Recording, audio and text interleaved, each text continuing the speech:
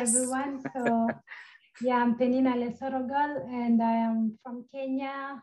I'm a Maasai woman or, or Samburu, but uh, I live in Europe. I live in Austria. Right now, I'm in Austria. And um, I'm so grateful to be here. And I'm at the right place because it's a butterfly talks. And in Kenya, my tribe, the Samburu, are referred to butterfly people because of our colorful beadwork and clothing. The Maasai are known, I guess, worldwide with uh, because of colorful um, dress code. So I'm so glad I'm here. I'm in my community, and also I'm a, I'm a, a woman uh, who was born and raised in. Uh, in a Maasai village, and I'm among uh, the first girls to go to university in my village. And it wasn't easy. It was very rough. Maybe I can share uh, my screen and show you some photos. Don't know if host disabled participant screen sharing. Can I share my screen, please?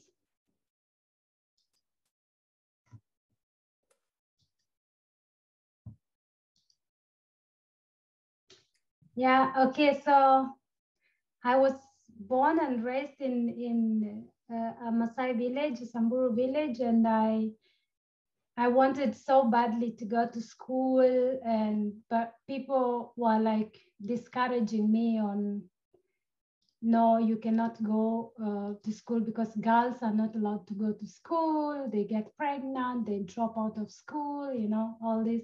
And girls are born to be to, to, to, to give birth to children and just take care of the family. But I, I didn't listen to them. And so, yeah. yeah, so I was born and raised here in this village. And yeah, I, I got so many discouragements because I'm a woman that I'm not supposed to be in, uh, to go to school. So I, I went to school anyway. So I don't know if you see this photo. I have, I wanted to show you this photo. Do you see this photo? Yes. Yes. So this is me. I started school when I was 13 years. I was very old and everyone was laughing at me. I'm too old for school, but I started anyway. And this was my first school uniform. This is me and my brother and my sister in front of our mother's house. It's a Maasai uh, Manyata. So um, that's my journey, how I started to go to school. But then when I was in the university, um, it was on a like a Wednesday, and my dad was calling me that I should come home by Friday because on Saturday is my wedding day, and I didn't know my husband. I don't know my husband, but it's traditional, it's culture. I respect my culture. It's the most beautiful uh, thing that happened to me, but there are also some things that are dark or not good.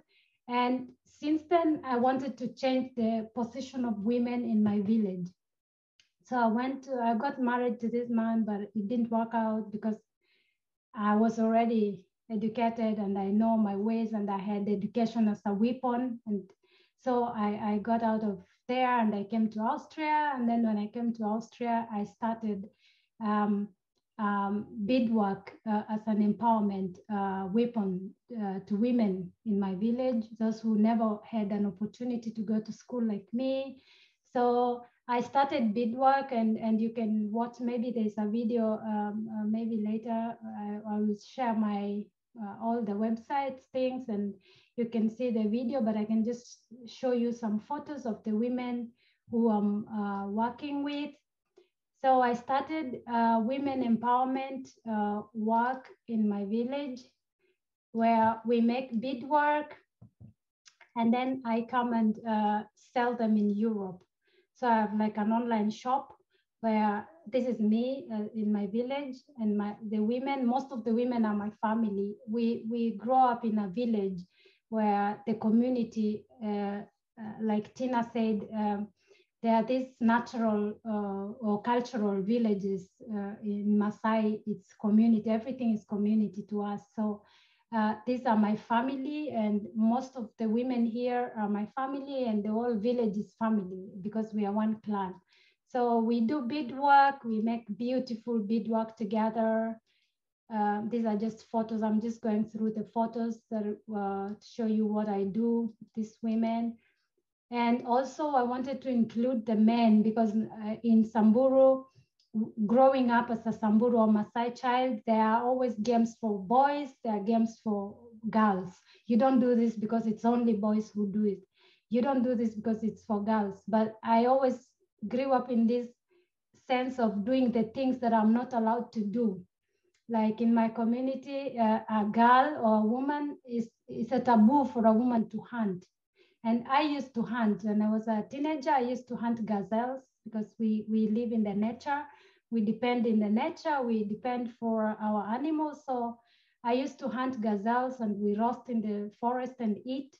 And when we come home, my mother is trying, we, we were four sisters and my mother was trying to give us food and we say we are full and she's like oh my god they committed a sin because it's a it's it's like a taboo for a woman to to hunt so i always did the things that uh, we were told not to do because you are a woman so i i wanted to to you know, like to separate that. I didn't want to grow or my children to grow up in such a, um, a community. Okay, I love my community, it's beautiful, but there are things that I want to change. So I started this um, beadwork and I wanted to include men.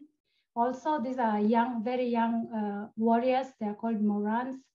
And they also make beadwork and they pay school fees through beadwork and also young girls. So that's what we do in my community. And these are the uh, finished products. When I finish them, I bring them to Europe and sell them. These are bracelets. These all are bracelets, necklaces. They're so beautiful. That's why we are called the butterfly people. And recently I started a very beautiful uh, project. Like a month ago, I was in Kenya, uh, the project of agroforestry.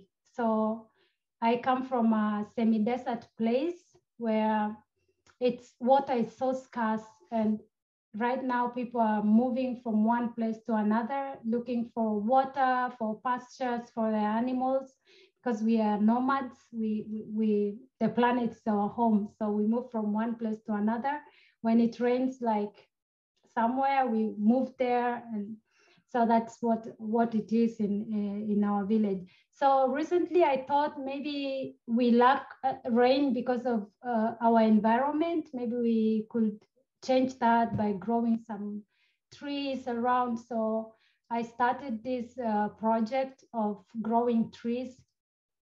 There's a, a video that i prepared but i i don't think i have time for that so and yeah, we still do. We do all together with women and men. Basically, when I started this, I wanted to change the position of women in my village. But then I remembered that there are things that we are limited. There are things that that the society doesn't want us to do together. I want to live in a community where we work together. There's nothing like this is for men, this is for women. I, I really wanted to bring out